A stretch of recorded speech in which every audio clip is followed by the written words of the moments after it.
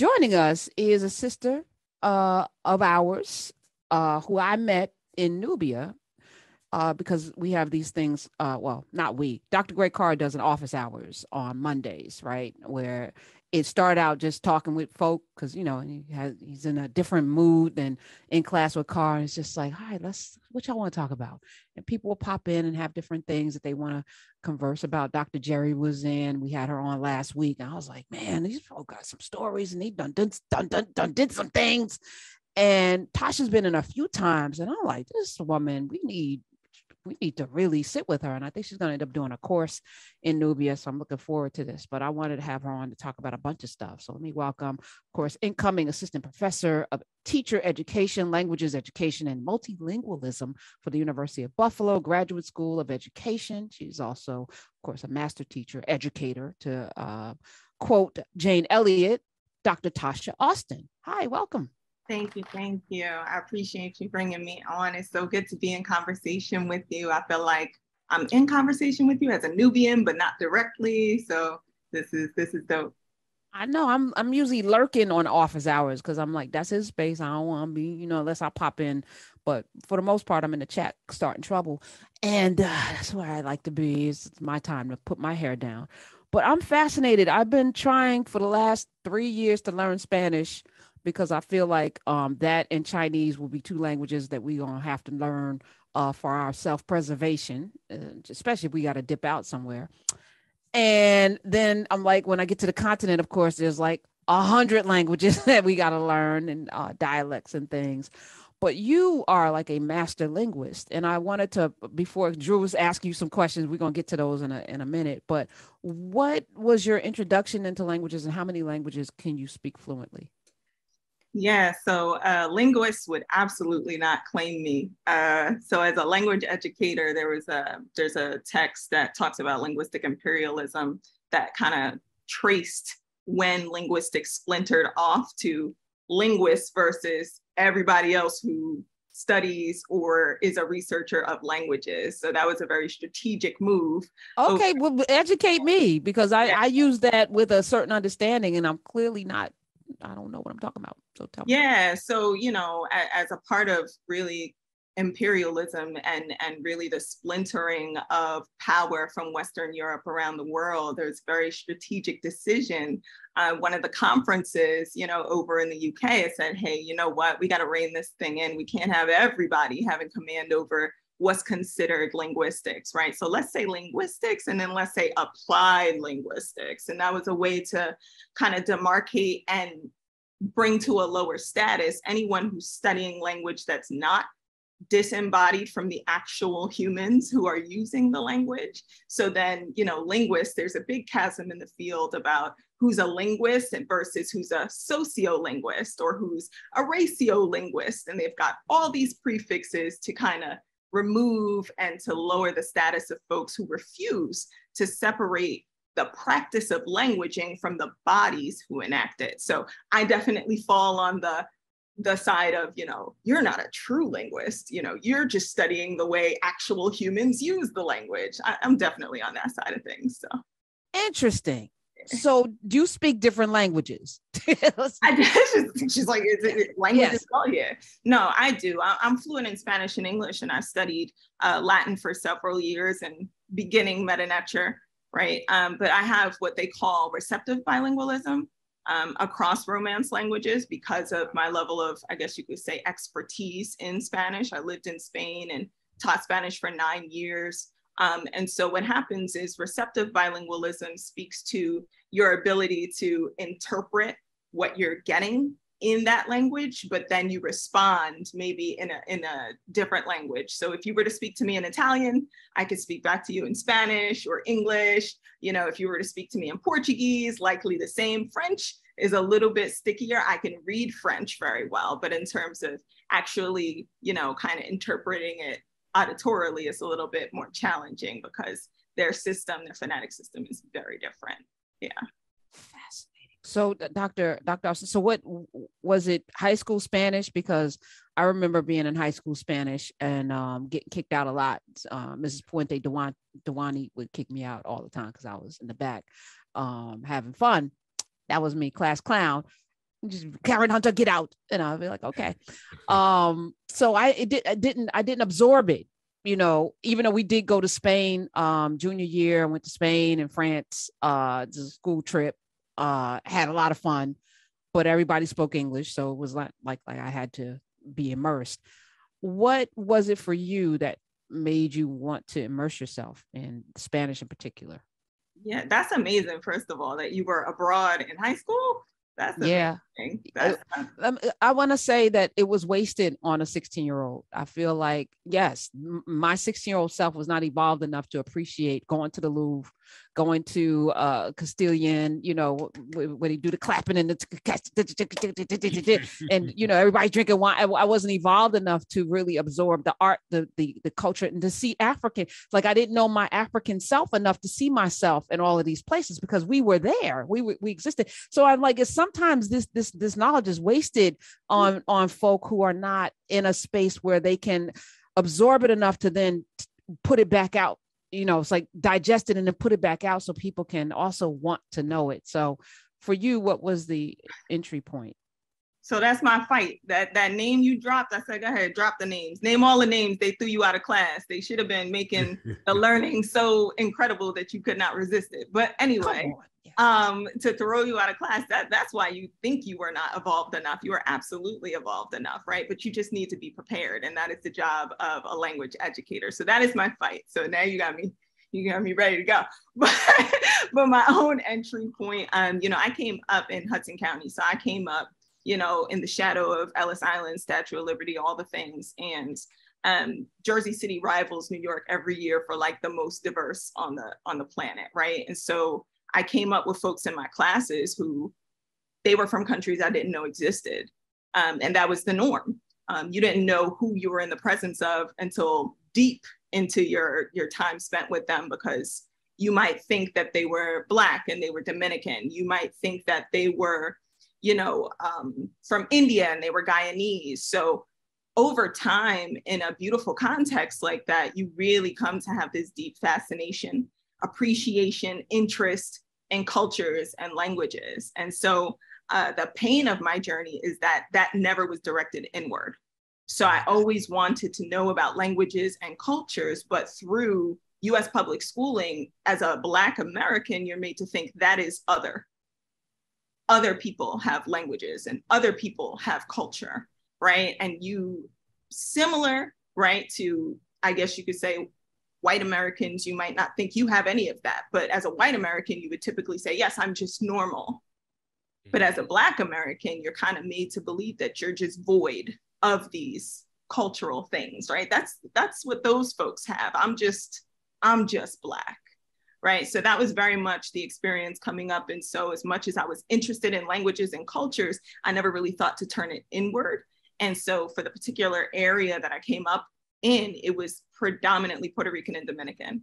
And so, most of my friends from the music, from the dancing, from the food, from the religious, you know, all the things, it was all in Spanish. So, it was a very kind of uh, expected, I don't want to say natural because definitely socially derived, but an expected end for me to get an interest in Spanish, the language and the culture. Um, but it wasn't cultivated. Like I had to fight for it. I had to fight for it in high school where they said, no, you can't go to Spanish three, you're not a native.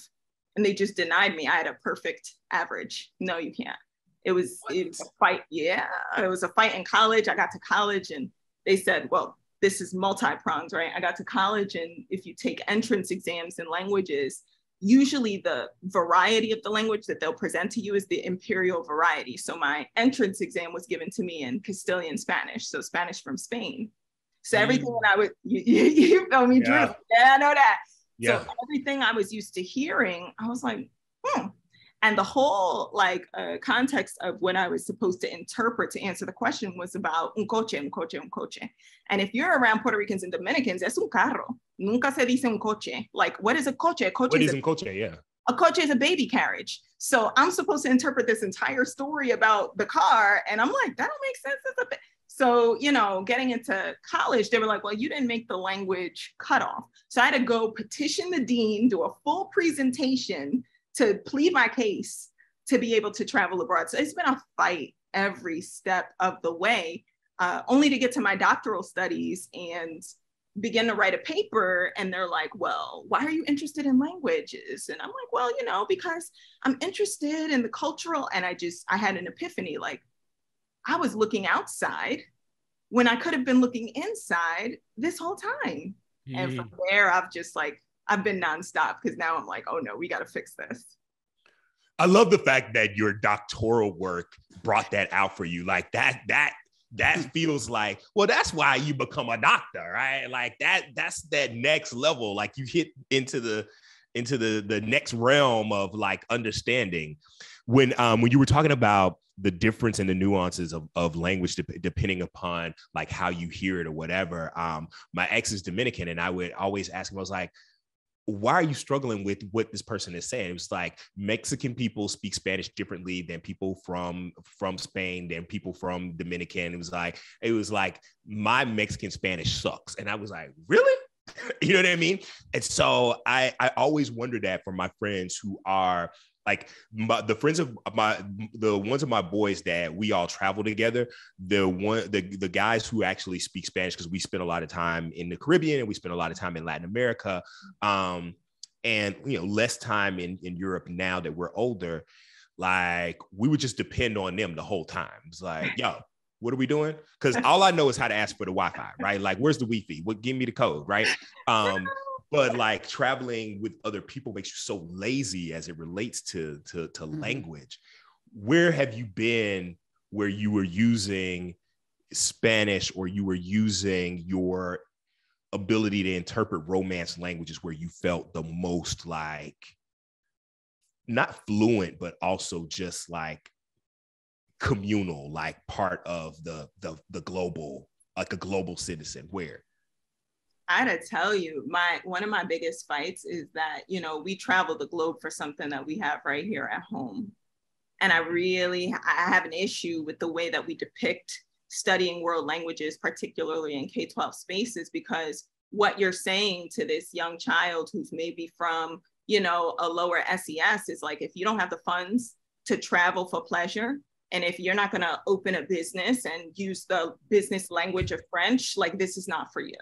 And we mm-hmm. say that so early that we really cut off a large amount of the population who already has the linguistic prowess to yeah. number one, become the next generation of language teachers, but to number two, just affirm who you are.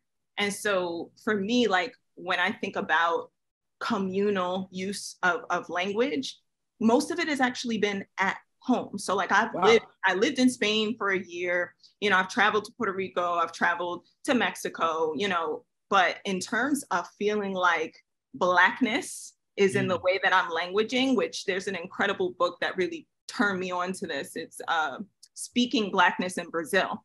And I know off off air you were talking about Brazil and I was holding myself together. Karen, I didn't talk about the Brazil thing until we came back on. Are we gonna talk about it? but that that text, Speaking Blackness in Brazil by Dr. Uju Anya, who is a polyglot, I think six or seven languages fluently. She's half Trinidadian, I believe, and half Nigerian. But she followed five, I believe, of her study abroad students. She took them every year to Brazil. And they were all Black students, all African American students. And just looking through their eyes at the experience of how they came to know themselves because they were in this Black country mm-hmm. as they were studying Portuguese, I was just like, resentment doesn't even cover it. Meanwhile, I'm over here in Spain and they're trying to prick me up, pick me up as a sex worker. Mm. I'm in Spain at 19 years old and they're chasing me out of the, the, the subway station saying, you can't sell your stuff here. This is the experience I'm having at 19 yeah. because the languages typically that are centered are white varieties of imperial languages. So you know, me being downtown Jersey City, like at a quinceañera, dancing bachata or something, is the most communal I felt sure. using Spanish, you know, not when I was abroad at all. Hmm. You know, this is interesting you say that because I know for me, um, I wasted a lot of my parents' money um, doing study abroad when I was at Morehouse. I was in Nice for a summer, but it was when I got to Martinique that I really gave a shit. Like I was traveling with my with my best friend when we were in Nice, and I was like, he's fluent. I'm good. Like I just need to know how to order how to order some beer and some drinks. um, and to holler at these dudes, and it wasn't that many to holler at anyway. And so, um, but then I got to Martinique, and I was like, "Yo, okay, everybody's black. Let me let me dig in, right? Like everybody, I'm at the post office, and people are and and everybody's black, and I'm trying to send my letters. Like I really didn't really dig into like to to French until I got to Fort de France and it was a game changer for me. I got home and didn't use it because I came flew back home to Atlanta and with nobody speaking French nowhere that I could go to that I could see. But I feel you on that in that language is so accessible to us if we actually use it, particularly when we're younger.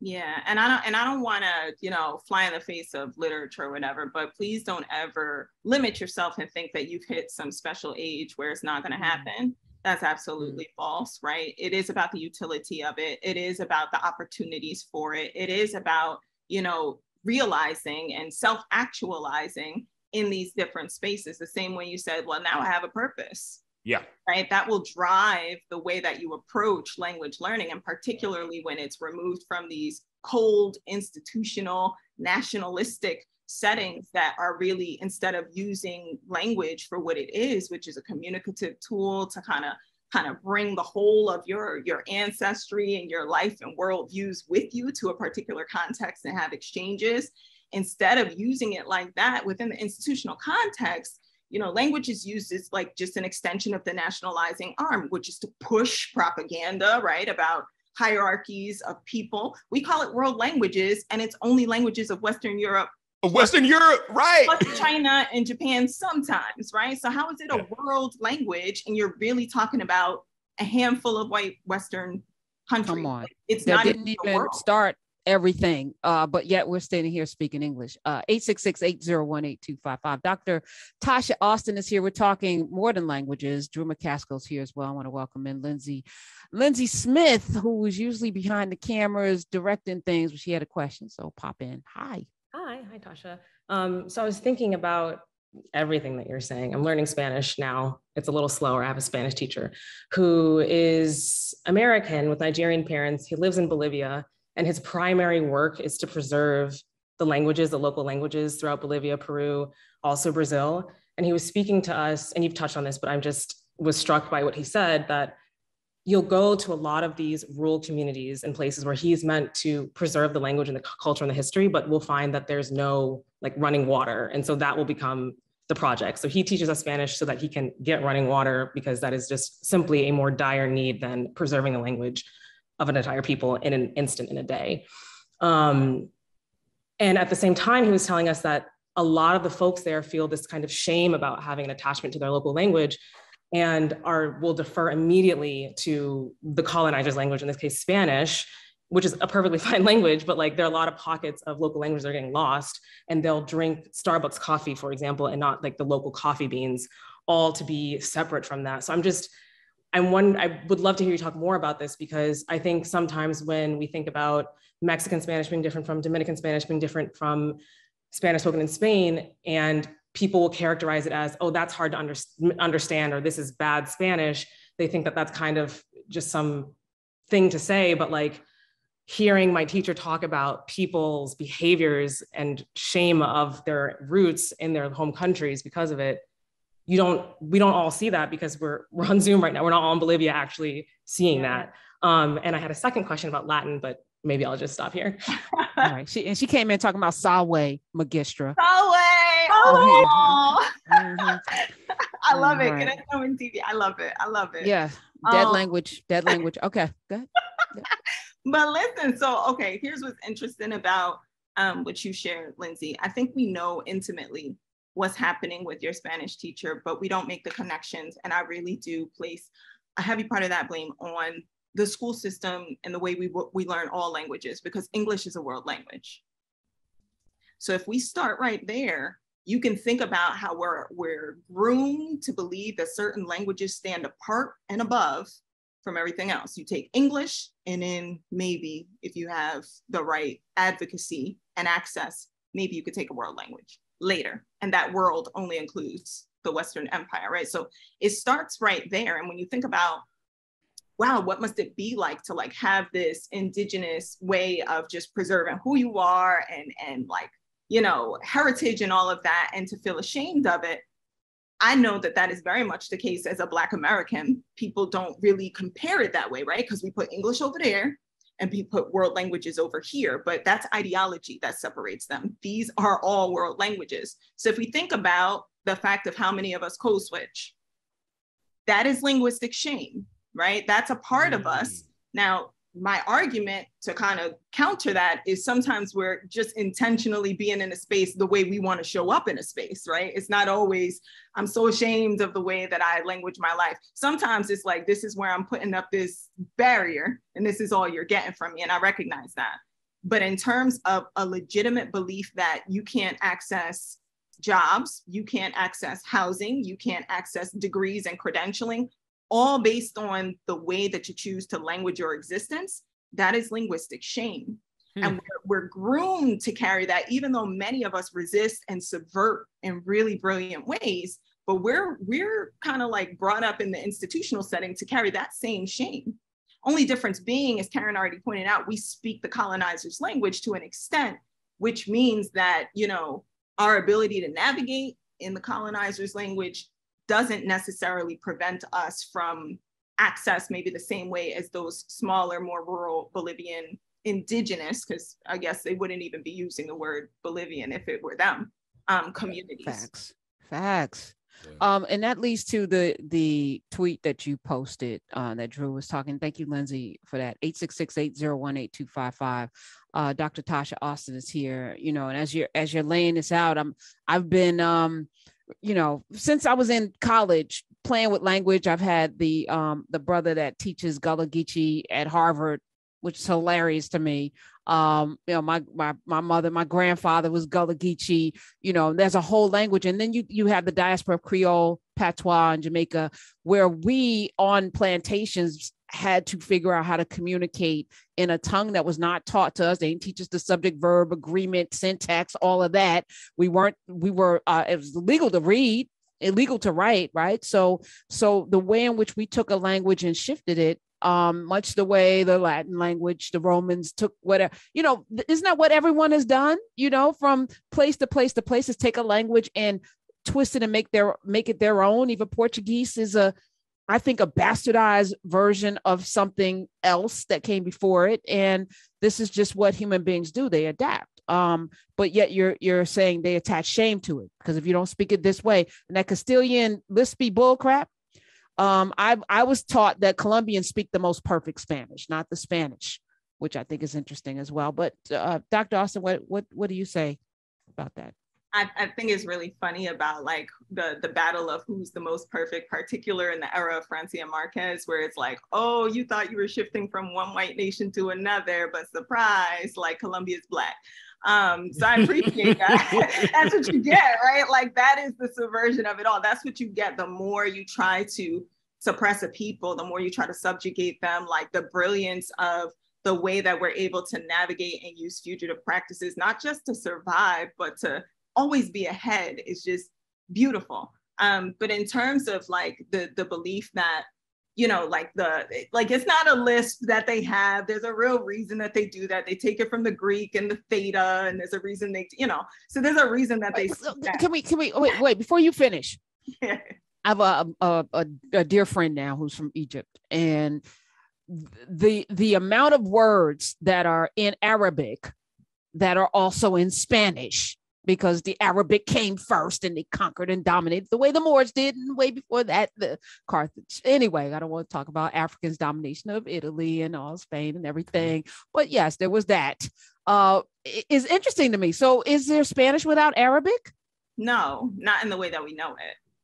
Not at all. all just want, want to clear that up, y'all. Yeah, mm-hmm. it's it's mm-hmm. well. So the funny thing is, like, I feel like teaching, educating has driven me to all of these um, epiphanies, right? Like I said, I'm not the traditionally trained linguist, but I have a lot of insights and approaches to language teaching and research that a lot of trained linguists would never take, but it's from experience, right? It's a very bell hooks kind of approach from from my actual work in the classroom. That's where I develop theories and then I research them to see if there's any merit to them. And what you're talking about, about the Arabic influence, you know, I lived in Spain and I was in the south of Spain and the flamenco, the castañuela, all of that good stuff. But not did it occur to me the way that that influence permeates linguistically until I was teaching in Jersey City. Why? Huge Egyptian population. You're sitting hmm. in a class of 30 plus students. And as a good educator, right? Not because I'm like, you know, some academy trained linguist, but as a good educator, this is a decade ago, you have Egyptian students who are not proficient yet in English, but who are sitting in your Spanish class. And so the goal then becomes why do they care? the goal then becomes what is the point of connection that I can leverage to ensure that this is accessible and meaningful for them? Because frankly, if I don't have a purpose for doing, like English is going to take precedent, right? We know we're in an English predominantly speaking country. So I'm in the Spanish class, yeah, whatever. I have things to do. I'm going to turn my brain off until I get back into math or ELA. And so what I began to do was to look for those connections. And sure enough, it wasn't just connections, it was everything. It was 800 years of the Moors having had reign over the entirety of the Iberian Peninsula. And furthermore, it, it was in the architecture, it was in the language. Everywhere you looked, it was like they put lipstick on mosques and called them cathedrals. Like they didn't even really, because everything was so beautiful and advanced. Even they're wanting to erase the influence of North Africans, they couldn't bear to do it because it was too incredible. And so they put a stained glass window and kept it pumping. Like they didn't even try to seriously uproot the beauty of what the North African folks left there because it was just too amazing. And so my lessons ended up coming from posting images and showing the music, right? You're listening to the vocalizations. Listen to the vocalizations of those uh, Southern Spaniards, right? They don't want to tell you they're Romani nomadic people. No, the Southern Spaniards, right? And you end up finding that this, everything that they love, I know it's going to sound familiar in a minute, everything that they love about being Spaniards is not about Spain. It's African. It's right. African. right. So, uh, Dr. Tasha, let me ask you this. Um, I'm thinking about the next. The I, I know you said that we all can that we all can learn a language, but I'm also thinking about the next generation of young folks, right? Like, how do we make that connection for them for if they are learning Spanish or if they are learning Portuguese or they are learning um, French or they are learning of these other languages? How do we make that connection for them that I didn't get in Nice. I got in Martinique. Like, how do we get that for them so that when they're listening for it, they make the connection to the diaspora? Because I feel like language is another one of those ways that if we really connected linguistically, that our connection to the diaspora would shift and change almost miraculously. Beloved, that's it. that's it. That's really my fight, right? At the end of the day, like I'm, I'm going about it in a research academic way, right? I've mm-hmm. published mm-hmm. papers about anti-blackness in language curricula. I've mm. published about, you know, um, eradicating linguistic imperialism and anti-blackness in world language teacher preparation. So I'm, I'm pushing in that way, but we know those mm-hmm. papers get circulated among a few people. There's $42 if you want to download it as a layperson right? It's, it's not really what's doing the work. So my work is in preparing those who will teach those babies, but also in the work that I do with my own child. It's also in the way that I show up in the world, right? And it's in the way that I push for across education for us to stop restricting all the multimodal extra linguistic representations of Black people around the world. So what I mean by that is if we take it back to what Karen said about all these restrictions, you can't read, you can't write, you can't do this. It's all purposeful. It's all about maintaining the racial hierarchy. Yeah. But we are brilliant, right? And so so much of what we communicated was extra linguistic. It was yeah. beyond the language. You know, I think about Chris Smalls and how he doesn't have to say a thing. Look at how he shows up in the world, right? Look at what he's wearing. This is how he shows up, and he's giving you a whole message with his mouth closed. I think back to Francia Marquez mm. as well. There's a reason that she shows up in the kente cloth the way that she does. We are telling messages through our hair, through our fashion, through our dance, through our media. Through there's so many ways that we're getting the job done. My fight in the in the small space that I'm in is get out the way. Like my argument is I'm not asking you to do anything extra on behalf of Black folks. What I'm saying is stop misrepresenting the world as it is. Yeah. The world is Black. You're just misrepresenting it.